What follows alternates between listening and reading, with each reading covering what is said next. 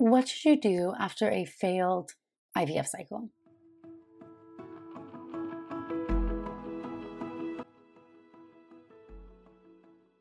Hi, friends. I'm Dr. Natalie Crawford. I'm a board certified OBGYN and REI.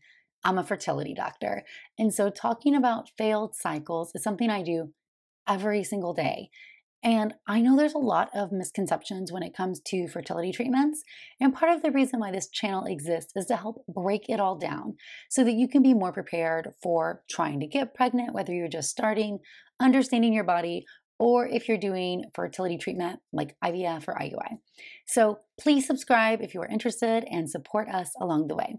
Now, when it comes to failed cycles, there's a few things that I think are really important to think of. And one is what makes it failed. And part of understanding what makes it failed is understanding what was the expectation. Because sometimes I see patients who come in for a second opinion when the outcome that they had was exactly the outcome that would have been expected. It just wasn't clearly explained to them or they didn't have an understanding of that. And that is a part of the problem. There are too many doctors who are very paternalistic and they just tell you you need IVF and they don't explain your odds of success or what the entire process is going to be like. So, for the most part, when we talk about failed cycles, we usually mean not getting pregnant. But when it comes to IVF, it can also mean maybe not making embryos or not having any normal embryos. So when we think through it, let's break down a couple things. So for IUI, right? IUI is intrauterine insemination.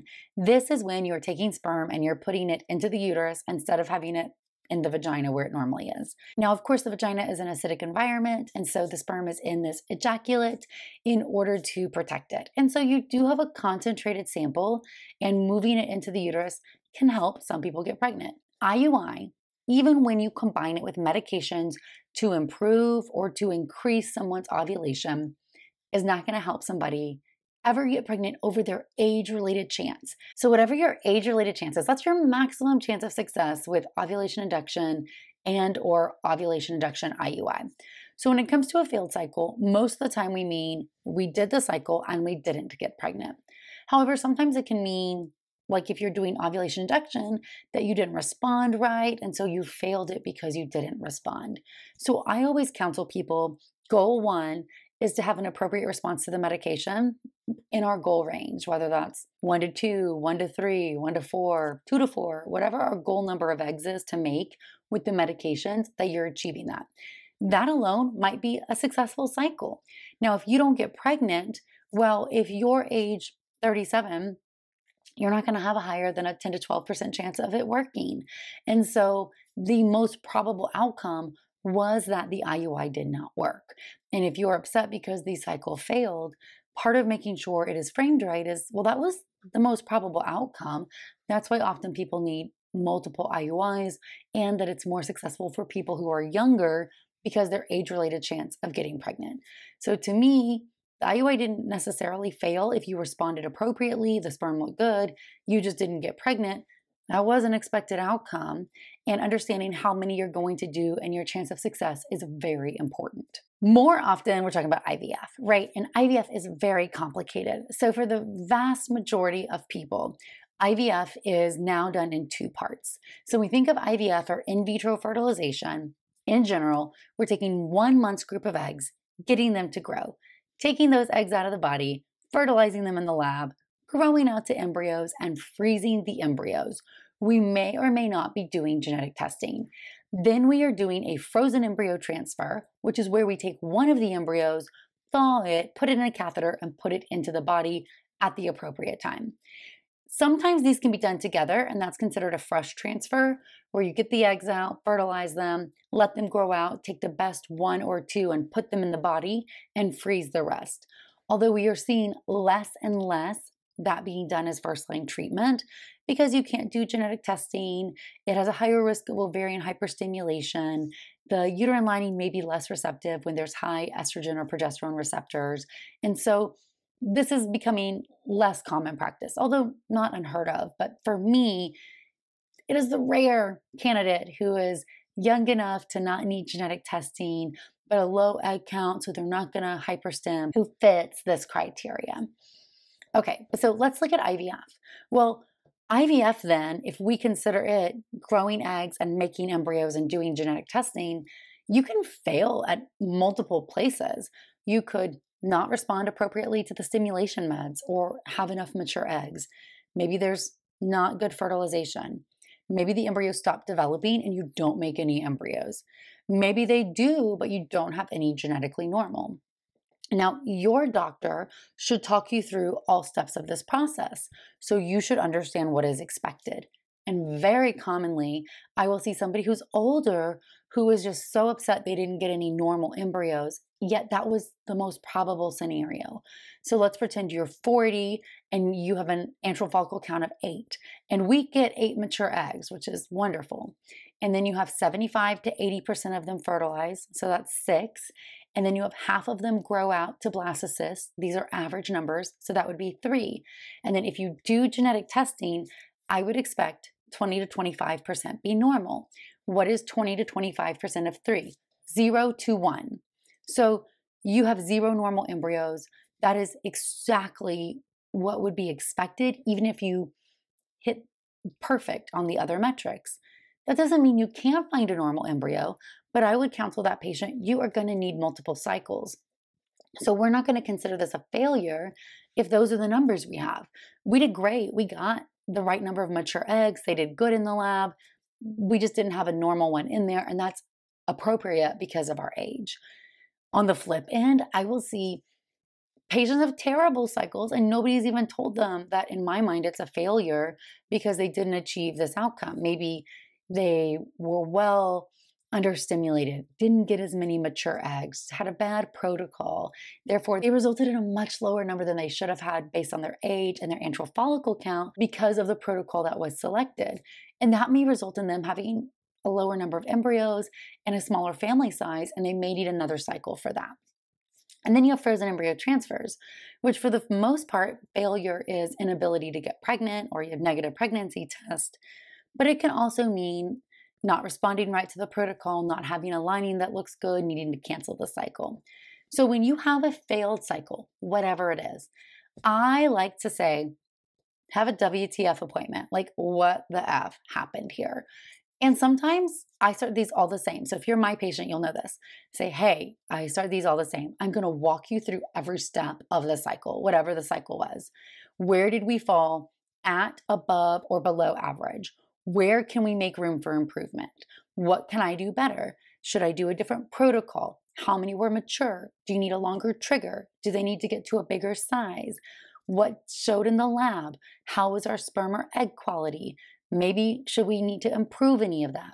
Or was it exactly as we expected and we need to do it again? Like, hey, it worked. We didn't get a normal embryo, but that's okay because of our age and our AMH and antral follicle count, but the protocol hit all the other metrics, so let's do it again. Understanding that is really essential. With an embryo transfer, we as humans think that genetically normal embryos are going to work. I mean, there is definitely this mindset if you haven't done IVF that IVF is just going to work for you. And I think everybody who's gone through it knows that that's not the case. With a genetically normal embryo, we tell people the average rate of success of a live birth is at best 65%, which means a large number of normal embryos do not become babies. And why is this? Let's think about the fact that having a genetically normal embryo is the low end of what we need. There is need for gene expression appropriately and cell division, and the embryo has to have certain metabolic components that help it become a baby. And so a lot of times those things don't happen and it's the embryo's fault. And we don't have a test to know that yet. And we know this because if I don't change the protocol, I do the exact same protocol for embryo transfer and I transfer one embryo, we have a 65% chance of live birth. If now I've gone to my second single embryo transfer, now it is an 88% chance of live birth. And if now I've gone to my third transfer, single transfer of a genetically normal embryo, 95% of people will have success with that. So if we truly view failure of implantation or recurrent implantation failure, that officially would be after three transfers that are not successful of genetically normal embryos, and only about 5% of people would fit into this group. Although it is devastating to go through IVF and not have success, so we're constantly looking at how can we do better and what could we be missing. But we are constantly seeing tests like the ERA fall out of favor and have more data support that unless you really have recurrent implantation failure, that test might do more harm than good. And there's limited blood testing and things that we can do, even though there's some. But some people will take advantage and try to charge you insane amounts of money telling you you have implantation failure after one embryo did not implant. And again, the first thing I'll tell somebody if I'm seeing you and we've had one transfer and it hasn't worked, this is okay. This was one of the expected outcomes because if 65% are going to get to a live birth, that means 35% are not. And that doesn't mean anything's wrong with you if you're in a room with 35% of my patients who've gone through IVF. You're in a big crowded room, that's okay. Of course, though, we want to look through where can we improve. Was the protocol right? Could we make do things better? Was it a controlled cycle? Do you need Lupron? Could you have endometriosis? Could you use a natural cycle? Have you ever achieved pregnancies before? So I'm always thinking about how do I improve things, but I think it's important to understand where we are concerned is where failure is the unexpected outcome, where we're very surprised or things did not go right. When things happen, it is hard, right? You have hopes and dreams for that embryo, and having an embryo not implant is a loss. It's much more than a negative pregnancy test. That being said, it doesn't mean that you can't achieve success. Trying to optimize everything you can is part of it. So when you have that WTF visit, well, one, recommend scheduling one. Two, ask your doctor to walk you through the protocol. Three, ask if they would make any changes. Four, ask if there's anything you can do from a lifestyle standpoint that may help, even if literature is not impressive. And five, ask when they start to get worried. When would you do something different? When are you worried this is not going to work for me? How many more cycles do you anticipate we're going to need? Trying to have your expectations set appropriately from the beginning can really help if we fall into the place of having a failed cycle. And if you're not getting the questions answered that you need, don't hesitate to get a second opinion. Infertility is so personal. Going through fertility treatments is so hard. Having a doctor, a team, a clinic that you resonate with, essential. And so if you're not getting your questions answered, send your record somewhere else. Have somebody else look over your cycle. And there's times that I tell patients that maybe they should seek another opinion. Don't be fearful of that. You need to be in charge of your journey. At the end of the day, this is your family, and you deserve the peace of mind knowing you had all your questions answered and you did everything you can. I know failed cycles are hard, they are common. And so, one, think about the definition of what really is failure.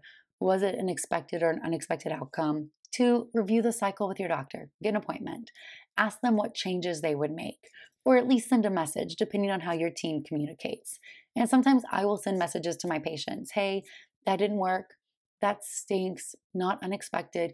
Here's what I want to do differently next time. And then we carry on. If you're going through IVF, I know it can be hard. I have lots of IVF content, so feel free to dig in. Ask questions below so that we can answer them. As always, you can follow along on at Natalie Crawford MD on Instagram or TikTok for more information, or you can listen to the As a Woman podcast. Thanks, friends.